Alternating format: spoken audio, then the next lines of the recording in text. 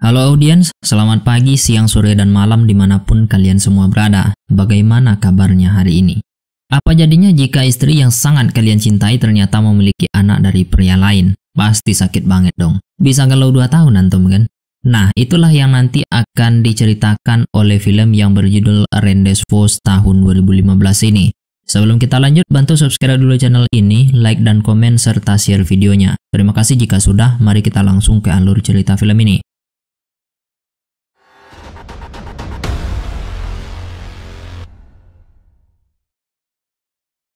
Film dimulai dengan menampilkan penangkapan yang dilakukan oleh polisi kepada seorang wanita. Setelah itu, Sin akan flashback 6 bulan sebelumnya untuk mengetahui apa yang sebenarnya terjadi.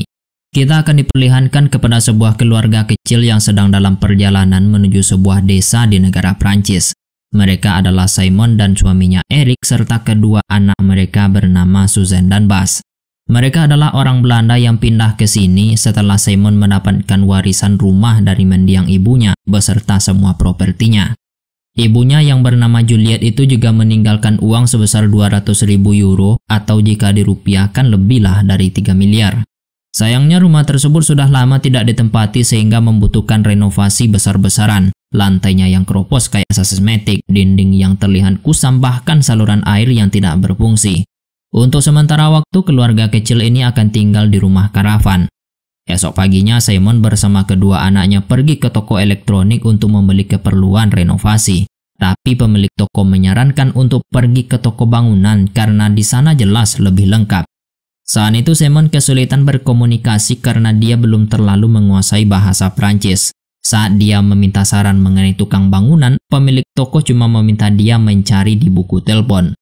Setelah itu, mereka pergi ke T cabang Perancis untuk membeli kebutuhan makanan. Di sana, Simon bertemu dengan seorang pemuda lokal yang memberikan saran tentang susu kotak yang lebih enak. Ah. Rupanya Simon terpesona dengan ketampanan dari pemuda tersebut. Dia sampai tidak sadar kalau saat itu Susan sudah tidak ada bersama Bas. Simon yang panik langsung mencari ke seluruh tempat tapi tidak menemukannya. Dia kemudian mendatangi kasir untuk bertanya apakah mereka melihat anaknya. Tapi lagi-lagi karena kendala bahasa, unik kasirnya tidak bisa banyak membantu. Simon langsung menuju parkiran barangkali Susan ada di sana. Brienne berkata kalau dia menemukannya di tempat jual mainan. Untungnya dia orang Belanda juga jadi bisa berkomunikasi secara lancar dengan Susan. Esok harinya Simon mengantar Susan dan Bas ke sekolah baru mereka. Dia sebenarnya agak khawatir kedua anaknya sulit bersosialisasi karena masalah bahasa tadi. Saat itu Simon melihat seorang wanita yang sedang bersedih seperti mengalami masalah yang cukup berat.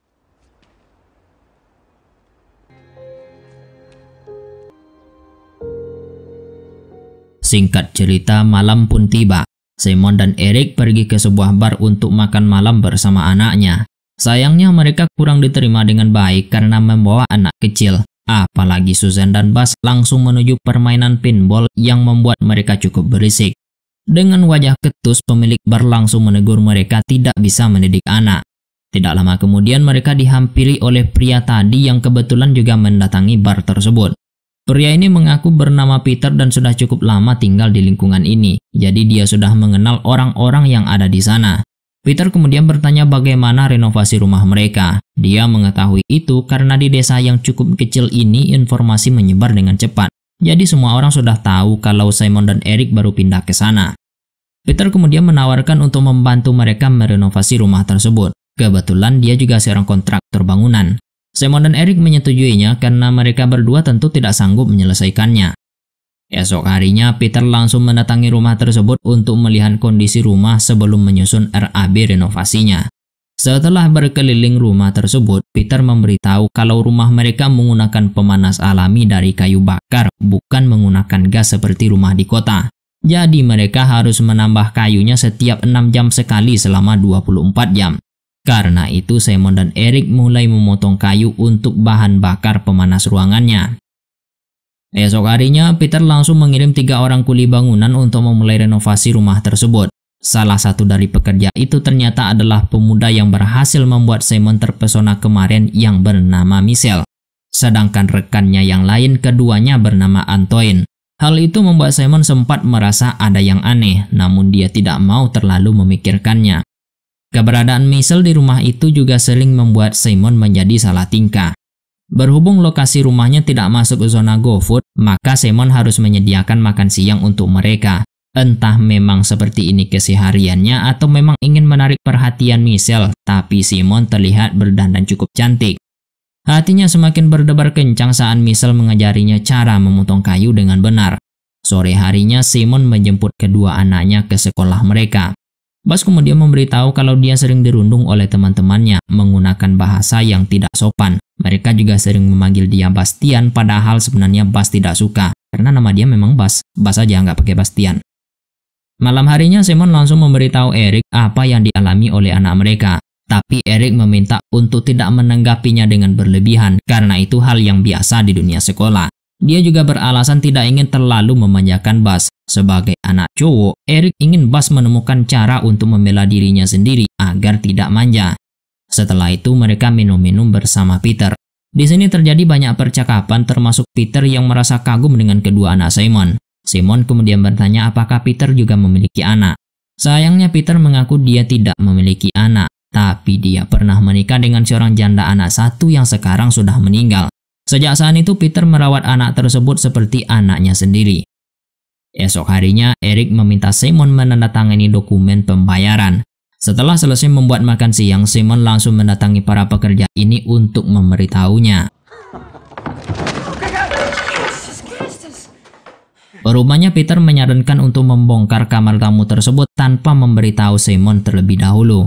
Dia beralasan ingin membuat ruang tamu dengan plafon tinggi agar menciptakan kesan modern. Meski Eric terlihat sangat menyukainya, namun Simon sebenarnya tidak suka dengan cara Peter yang tidak memberitahunya terlebih dahulu. Simon yang kesal kemudian pergi memindahkan kayu bakar. Saat itu dia dihampiri oleh Michelle untuk membantunya yang kembali membuat Simon baper. Saat berada di ruangan pembakaran, mereka berdua akhirnya terbawa suasana hingga Michelle mulai membelai Simon yang tidak dia tolak sama sekali. Namun Michelle pergi begitu saja sebelum berbuat terlalu jauh. Setelah itu Simon pun merasa bersalah dengan apa yang baru saja dia lakukan. Akibat terlalu lama di ruangan pembakaran tadi, masakan Simon siang itu juga jadi gosong. Antoine 1 dan Antoine 2 yang membawa bekal memilih tidak mencicipi masakan Simon. Tapi Michelle tetap memakannya yang kembali membuat Simon baper. Esok harinya Peter mengajak mereka ke pasar tradisional yang tidak jauh dari sana. Di situ Peter mencoba menjelaskan kepada Simon alasannya menghilangkan kamar tamu kemarin. Menurut Peter jika terlalu banyak kamar akan memberikan kesan sempit terhadap rumahnya. Karena itu Peter menyarankan untuk membuat bangunan terpisah berupa bungalow. Peter dengan senang hati akan membantu mereka membangunnya dan bersedia memberikan diskon biaya yang cukup besar. Tapi Simon tetap menolaknya. Dia ingin renovasi rumahnya tetap berjalan seperti konsep yang sudah disepakati. Peter berkata kalau dia tetap berharap Simon setuju dengan rencana yang sudah dia susun. Dia kemudian mengucapkan kata-kata isyarat seolah Peter tahu Simon sedang menyimpan rahasia. Setelah itu Simon dihampiri oleh wanita yang terlihat sedih di depan sekolah Susan dan Bas tadi. Entah apa maksudnya, wanita ini meminta Simon untuk jaga jarak dengan Peter. Esok harinya, Eric menyuruh Simon menemani Michelle ke toko bangunan untuk memesan barang-barang bangunan. Simon sebenarnya tidak mau pergi berdua dengan Michelle. Setelah kejadian kemarin tentu dia akan merasa canggung. Dalam perjalanan, Simon dan Michelle hanya diam saja tanpa mengatakan apa pun. Sampainya di sana, toko bangunan itu ternyata masih tutup dan baru buka jam 2 siang. Michelle kemudian mengajak Simon ke restoran seafood sambil nunggu tokonya buka. Di sana dia bertanya apa impian Simon. Simon menjawab dia berharap rumahnya bisa cepat selesai. Dia juga ingin anak-anak dan suaminya bisa segera beradaptasi dengan lingkungannya dan merasa bahagia. Mendengar itu, Michelle bertanya, apakah Simon tidak memiliki impian untuk dirinya sendiri? Mencintai diri sendiri itu juga penting loh, kata Michelle yang kembali membuat Simon merasa lulu. Dia pun tidak menolak saat Michelle mengajaknya perang mulut. Meski menyukai apa yang sudah terjadi, tapi Simon tetap merasa bersalah karena bagaimanapun juga itu tetaplah sebuah kesalahan. Esok harinya, Eric mendapatkan telepon yang memberitahu kalau ibunya masuk rumah sakit akibat stroke. Karena itu dia terpaksa kembali ke Belanda. Simon berkata kalau dia akan menemaninya, tapi Eric melarangnya karena Simon harus menyiapkan makan siang untuk para pekerja. Selain itu, Susan dan Bas tidak bisa bolos sekolah karena semester sudah jalan. Dia menyarankan Simon menghubungi adiknya yang bernama Lian untuk menemaninya. Setelah berpikir dengan cermat, Simon setuju dengan saran tersebut. Esok harinya, Lian akhirnya tiba di sana. Sama seperti kakaknya, Lian juga langsung luluh dengan pesona Michelle. Malam harinya, Susan dan Bas minta diceritakan dongeng kepada bibi mereka. Sementara Simon pergi mandi air hangat karena kamar mandinya sudah selesai diperbaiki. Saat itu Michelle tiba-tiba menghampirinya. Bukannya teriak minta tolong, Simon justru membiarkan Michelle berdiri di sana. Sayangnya saat itu Susan datang yang mencari ibunya.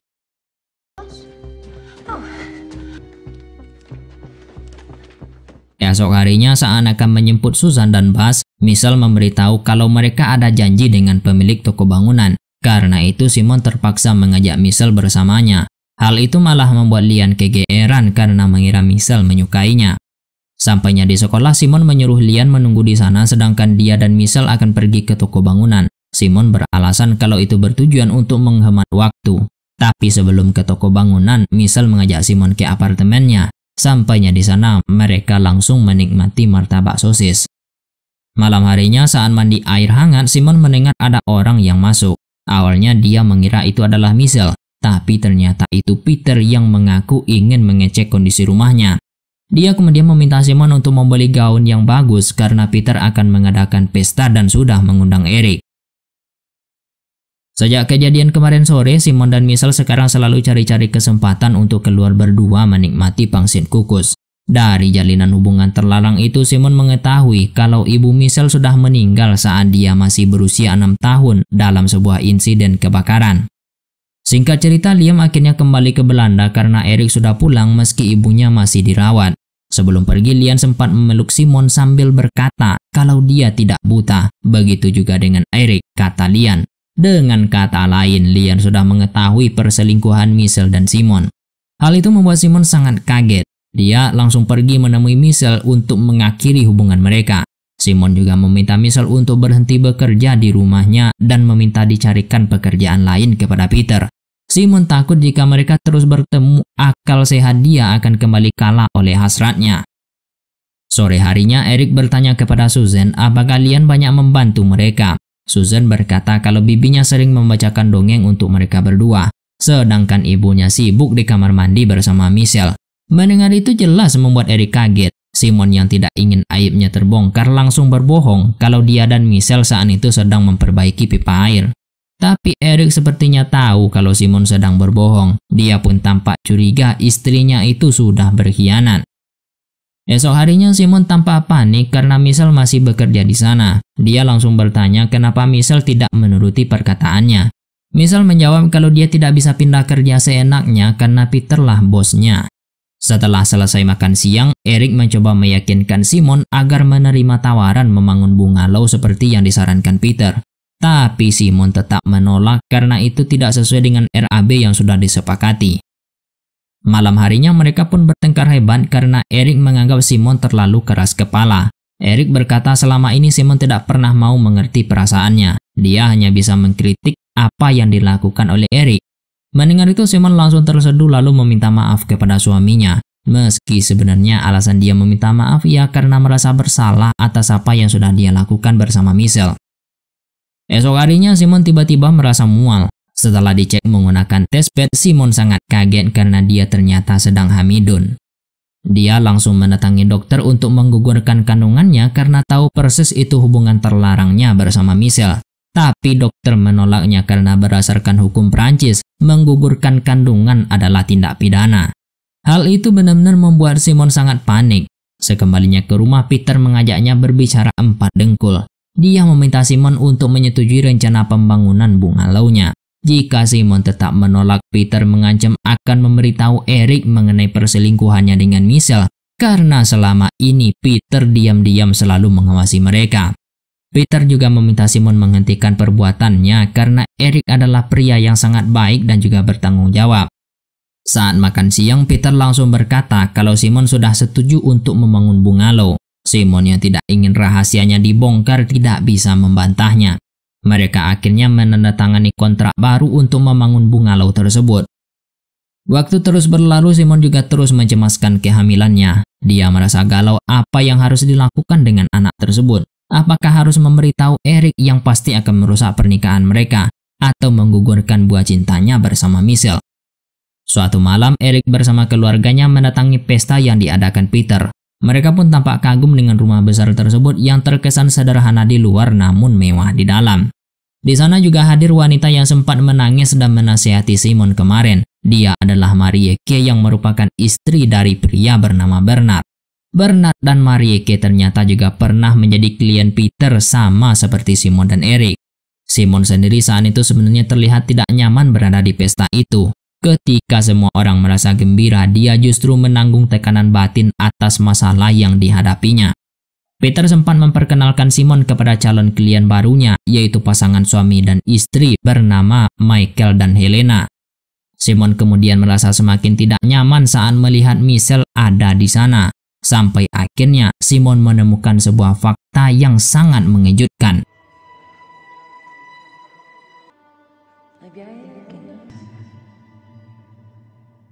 Saat itu Marieke menghampirinya sambil berkata kalau Michelle terlihat sangat polos seperti orang baik yang ternyata adalah anak tiri Peter tadi.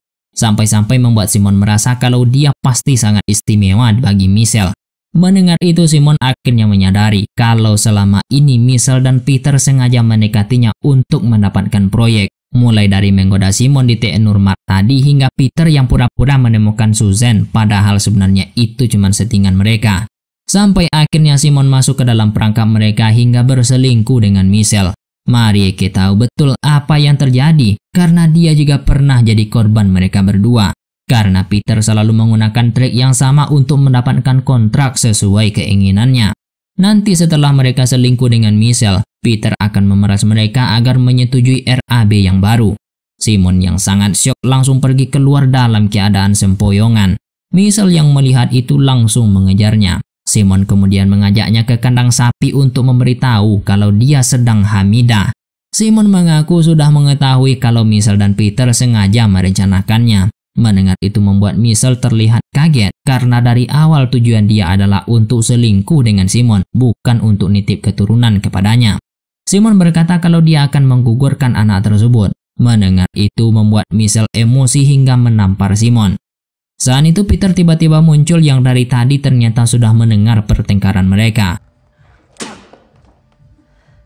Esok harinya setelah mengantar Bas dan Susan ke sekolah, Simon terus ditelepon oleh Peter dan Michelle. Namun Simon mengabaikan telepon mereka berdua. Setelah kedua anaknya masuk ke sekolah, Simon mendengarkan pesan suara yang dikirim Michelle yang meminta dia untuk tidak mengugurkan kandungannya. Saat itu Simon seperti mengalami dejavu. Setelah mendengar pesan itu dia tertunduk ke setir sambil berlinang air mata karena frustasi dengan masalah yang dihadapi. Saat itu Helena melihat kejadian tersebut persis seperti yang dialami oleh Marieke tadi saat Simon melihatnya, di mana Helena pasti akan menjadi korban Peter selanjutnya yang akan jadi klien barunya. Setelah berpikir sejenak, Simon akhirnya memutuskan untuk memberitahu Eric tentang semua dosanya. Dia langsung bergegas pulang untuk menemui suaminya yang saat itu sedang memotong rumput. Namun Peter yang sudah ada di sana langsung mencegah Simon melakukannya. Eric yang melihat terjadi pertengkaran langsung menghampiri mereka berdua. Simon kemudian berkata kalau Peter sudah memerasnya dan selama ini memanfaatkan mereka. Mendengar itu Eric langsung bertanya apa yang sebenarnya terjadi. Peter kemudian berkata kalau mereka sebentar lagi akan menjadi anggota keluarga. Dia meminta Eric untuk berpikir sejenak agar bisa menerima kenyataan tersebut. Peter lalu berkata kepada Simon, mulai sekarang mereka akan saling terikat karena Simon sekarang sedang mengandung cucunya.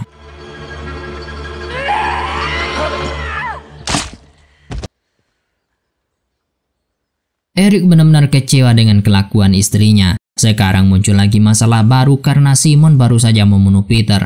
Namun Eric akhirnya memutuskan untuk membantu Simon menutupi kasus tersebut.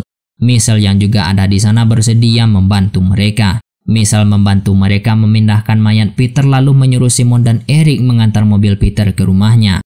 Sayangnya sampai di sana salah satu dari dua Antoine melihat mereka ada di situ dan merasa curiga terjadi sesuatu. Setelah itu Simon dan Eric mencoba menjalani hari-hari mereka seperti biasanya seolah tidak terjadi apa pun. Namun tetap saja itu membuat hubungan mereka menjadi dingin setelah terungkapnya perselingkuhan Simon. Sampai akhirnya pada suatu hari, polisi datang ke sana untuk menangkap Simon karena dia menjadi tersangka pembunuhan Peter. Polisi ternyata berhasil menemukan mayatnya dan menetapkan Simon sebagai tersangka karena menemukan fotonya di ponsel Peter. Simon benar-benar tidak menyangka kehidupannya yang tenang langsung lenyap dalam sekejap. Esok paginya di dalam ruangan tahanan, Simon mendengar suara Michelle dari balik tembok. Dia meminta Simon untuk tidak memberitahu apa pun kepada polisi. Siang itu polisi langsung membebaskan Simon karena mereka menemukan bukti baru. Polisi memberitahu kalau tadi pagi Michelle sudah menyerahkan diri dan mengaku sebagai pembunuh Peter. Michelle melakukan itu karena dia tidak ingin Simon mendekam di dalam penjara dan melahirkan di sana. Setelah itu Eric langsung mengajaknya pulang untuk menemui anak-anak mereka. Eric tidak mengatakan apa pun kepada Simon, pertanda dia ingin menganggap tidak ada masalah apa pun di antara mereka. Eric lebih memilih memaafkan Simon demi kebahagiaan anak-anaknya. Setelah itu Simon pun nampak tersenyum dan merasa sangat senang serta berniat melahirkan anaknya dengan misal tersebut dan film yang endingnya membuat kalian emosi ini pun selesai. Iya, saya paham. Kalian pasti juga emosi dengan endingnya. Karena saya juga merasakan hal yang sama. Kenapa gitu Simon gak kena karmanya aja kan?